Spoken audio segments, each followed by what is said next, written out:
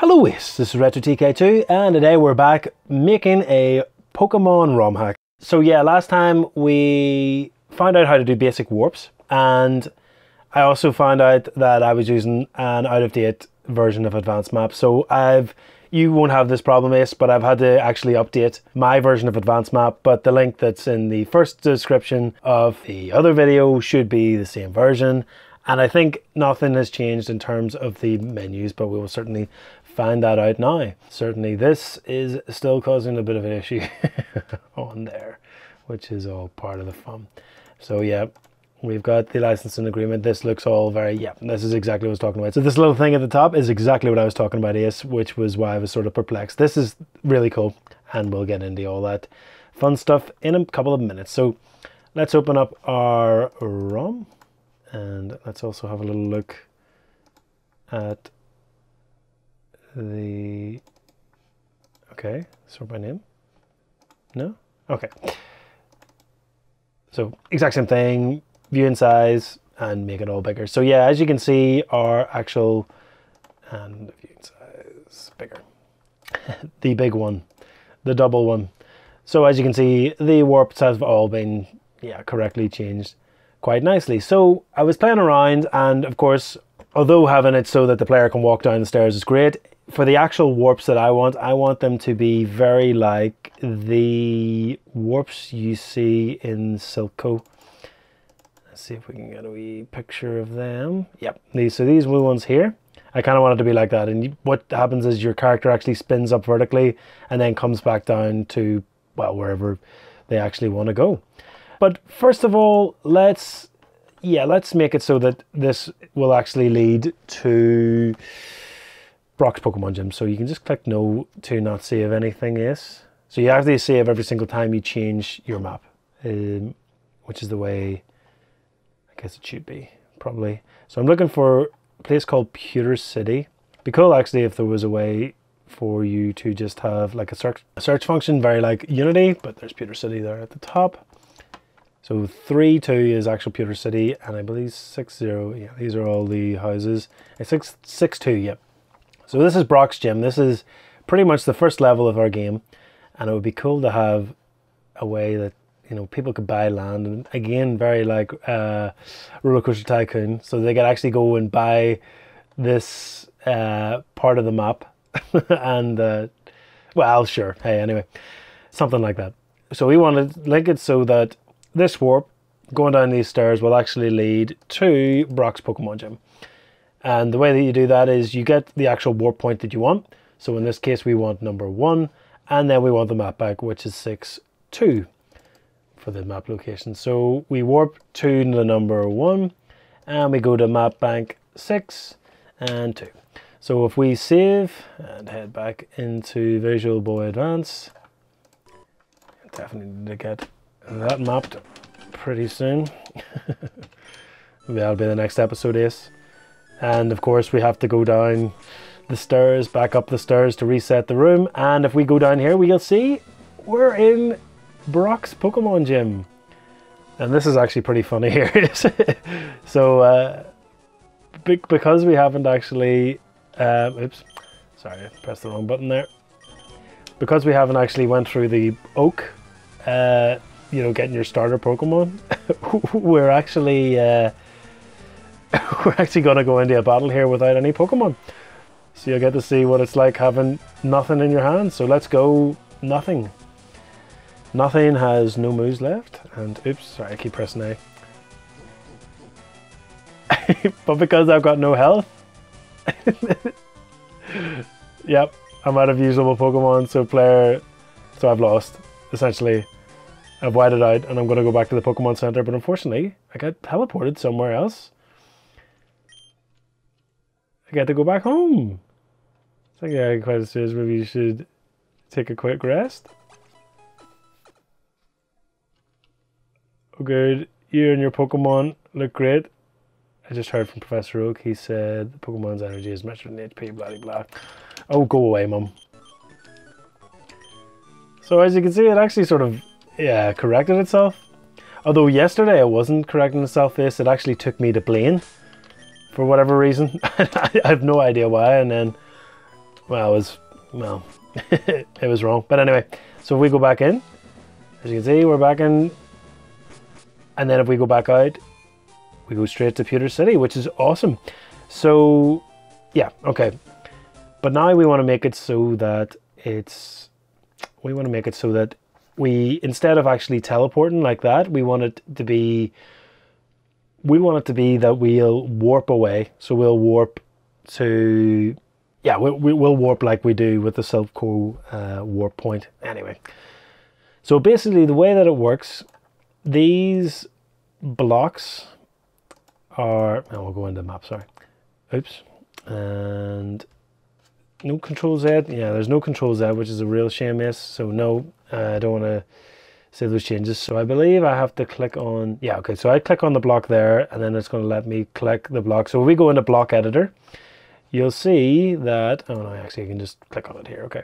So clicking on this block actually allows you to change the behavior of the actual block that it, well, change the behavior of the block that is associated with it. That's kind of cool. I like that.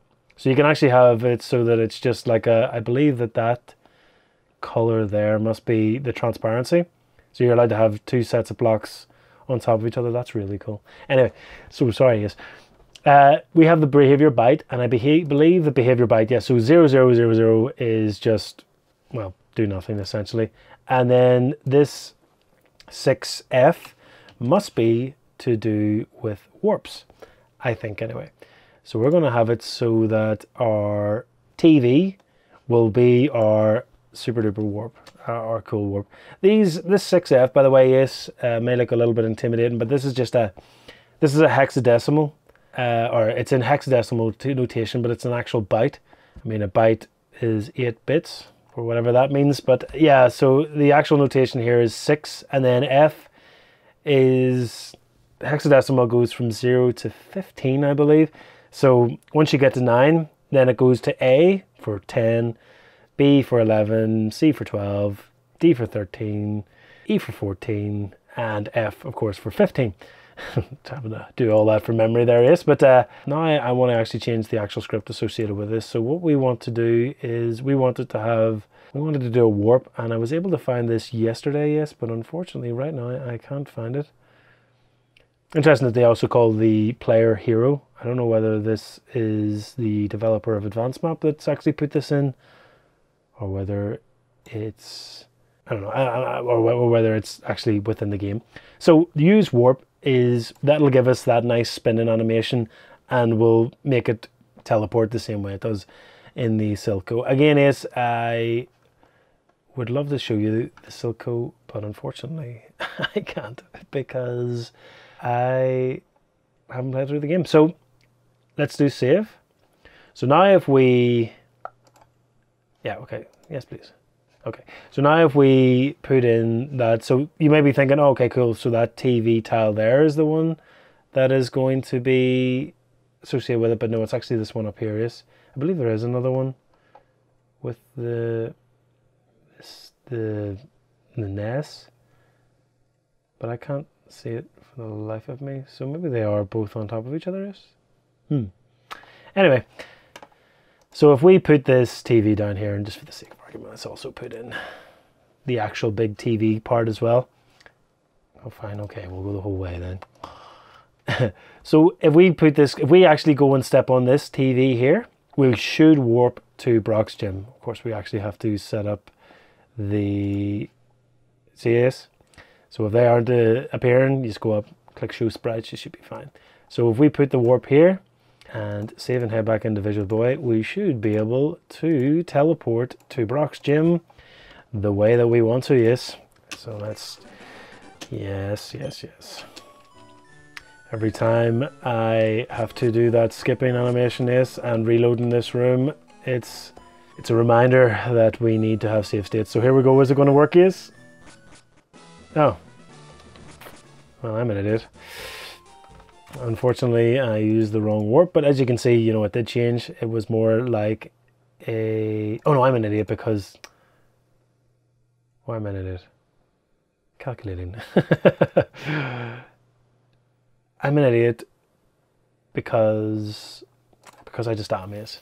No, it's um, yeah, it's uh, it's probably not use warp. It's possibly something else. Regular warp, maybe. Let's try regular warp. Maybe that there's the one that is associated with it. But as you can see, having the two separate is brilliant is because now it means that we only need to go in and change the behavior of the tile and not the behavior of the script. Um, although maybe that wouldn't be, maybe it would be better if they were all together. I'm not really sure on that one. I'm not sure. Oh, I'm an idiot. Did I just open the wrong? Oh, for goodness sakes. I was thinking open in terms of Visual Boy. Oh, silly retro. Anyway, let's get stuck back in. And again, yes. but these little, this this is really good for in terms of development because it uh, lets you see that these little having to constantly keep doing these build processes, even though they may only take you know about 10 seconds, adds up over time. Yes, certainly over if you did a year's development on this game and you had to do that every single time you wanted to test a build, yeah, it adds up. So now we're not even working. Brilliant, fantastic. Yes, fantastic. So what is going on there? I honestly haven't got a clue. Let us check it out. Ah, that's what's going on there. I moved it out to show you the tile underneath. Ah, oh, development is fun. Yes, it's so good. Especially whenever it's all live. Anyway, uh, and you, you see what I mean? So you're, I mean, I'd like to make it go a little bit quicker, but uh, yeah. Hey, hey, there you go. So you see? And what is amazing about this game as well is, is that it will also it will also play the animation of the previous warp as you change map. So we did the big warp and then it came straight back in. That is, believe me, that's so cool um, from a dev point of view because then it means we don't have to link up those animations. The uh, developers of Game Freak are very good. they know what they're doing. And yeah, okay, so now that we've got that, I wonder if I should. I don't really know what else to talk about this. I kind of want to just leave the episode there. Oh, well, let's let's set up another one in Pewter City then, um, allowing us to warp back to Pallet Town. The thing is, though, we're going to need. Uh, yeah, we're going to need to find a Oh, okay. It's interesting this. So we're just going to, I wonder if this actually has, because say this map tile set actually just has the warp there already. A lot of blank space here, which is absolutely fantastic, is because then it should allow us uh, to go in and means that we can actually update the um, palette itself. But I don't believe they do. No. At least I can't see it is. Could be my eyes that are the problem here. But uh, we'll just use the TV, of course, because we've already got it saved with a regular warp. So yes, please save. Thank you. And let's have it over here. Oops. Oh, silly. Let's have it. Okay, over here. And so now this will just behave exactly like our. That'll just behave like the warp in our room. So go over here, change it, incre increment the actual warps, go to change events, and as you can see, it just automatically pops it in as opposed to the way it did in the first video, which was an outdated version of, uh, yeah, the advanced map. Anyway, let's go. okay, so let's link it up. Uh, Town, I believe, is 4 and 1 for the map that we want. And yes, please. And this actual warp number is 1. So it'll allow us to actually warp back to 1. It'd be cool to have them actually um, link up together, but really I don't think it is necessary at the minute is because I mean all these warp points are going to change. But certainly this will give us a good basis to go for. I'm going to add this to the backlog. Um, set up save states for quicker build setup.